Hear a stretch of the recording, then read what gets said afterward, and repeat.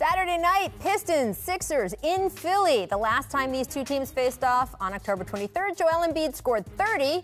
Sixers had an 11 point win, and after the game, remember this? Embiid credited Andre Drummond for motivating his performance, telling the Inquirer, quote, when we started the game, he was ag- aggressive, he was talking too. So I was like, in my mind, you want to do that? I'm going to kick your butt then. So uh, that's what I did. said.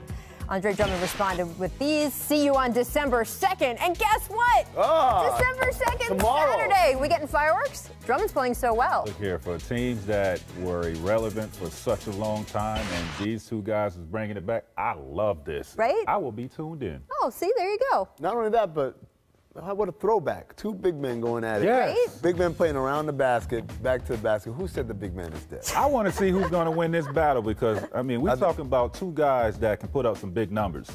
I, I, I'm gonna go with this guy. Oh. I think he's more skilled. I think Andre Drummond. I've always said this: if Andre Drummond played with a Chris Paul level point guard, he'd be a top three big in the league. Right.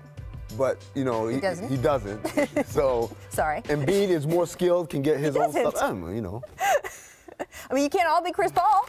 That's why Chris Paul's special. Embiid can make his own thing happen. Yes, And that's, and that's the absolutely. And to the he, Pistons, he though, 'cause didn't they play are the last balling. game. I don't know.